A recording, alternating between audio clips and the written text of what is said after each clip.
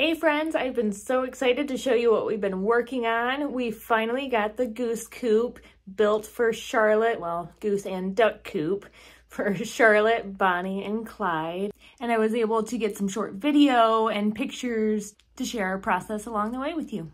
I hope you enjoy. the guys are working on a coop for Charlotte and the ducks, Bonnie and Clyde, because they're getting too big for the chicken coops. This is their project for the day.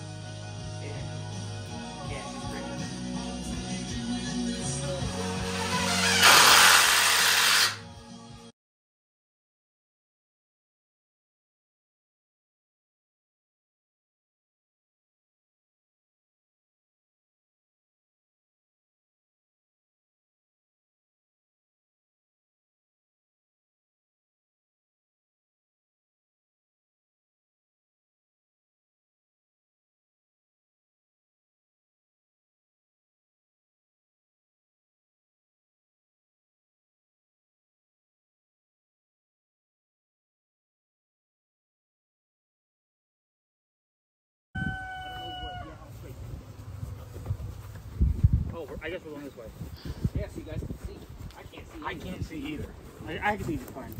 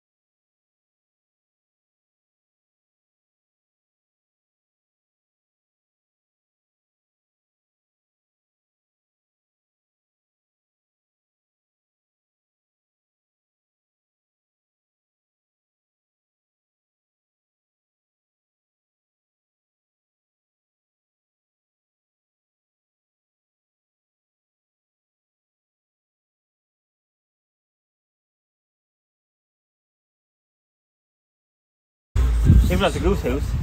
It's a goose food.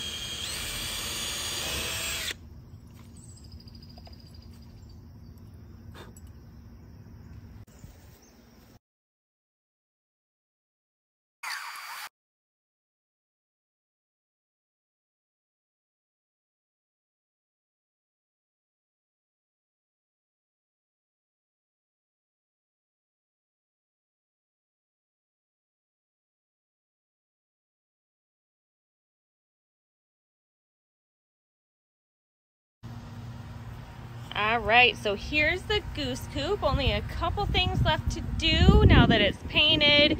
Um, the guys just want to put on the corner trim, which we're trying to find some that matches this coop over here, but we're having a hard time.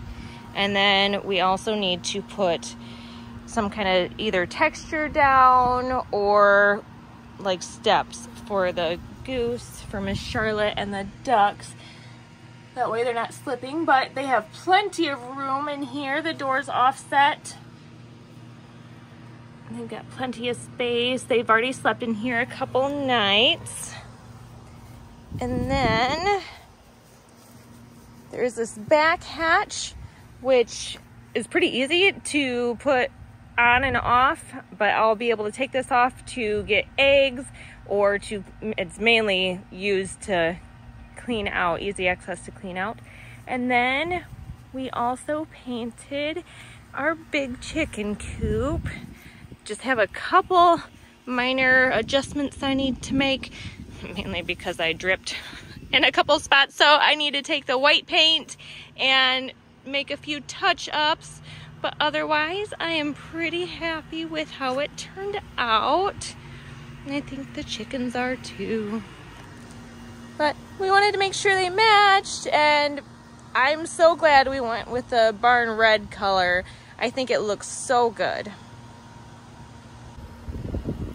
Also, for those of you who have been keeping up with the eggs that I put in the nesting box for Miss Betty to hatch, Betty is not really sitting on them. It's mainly been summer and that's okay, but we have seven eggs in there and I checked them just a little while ago and they all have air sacs in there which means that they're all fertilized and starting to develop. So we'll see how many actually make it through the full development. All right. Have a great day everybody